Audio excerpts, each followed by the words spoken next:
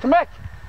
All right, here we are in, where are we actually, Danny? This is uh, what's known as Rochdale, uh, and uh, we're just on the Mayo border.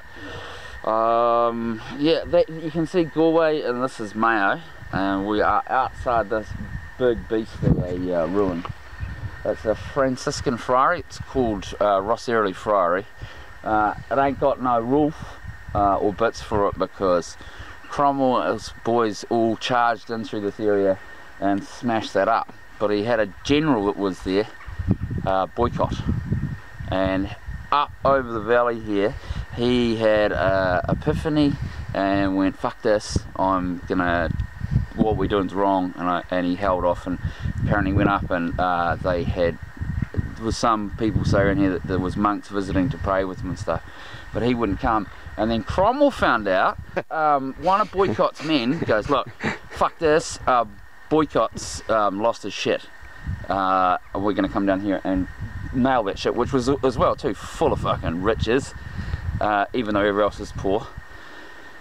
So uh, he sets off uh, a runner, and um, same with Cromwell, and then they meet up halfway, and he gets news exactly what he thinks. This guy's lost his bottle, and he goes, right, on Sunday at sunrise or sunset, smash that shit up. So on the Saturday, they come down, if you like, pan around over here. All the troops came right in down here, all the way in down here, and they cut down heaps of trees from in around here, made massive uh, bridges there, went straight across and smashed it. Boycott, meanwhile, was still up on the hill fucking praying, or doing whatever, Old Ollie goes, fuck that, I'm going to go and teach these cunts a lesson. So he grabs Boycott, he brings him into the village of Headford, fucking slits him right up and drags him behind his horse, leaves him in the town square, and that's where you get Boycott. He boycotted the decision to sack this place. Wow. Yeah.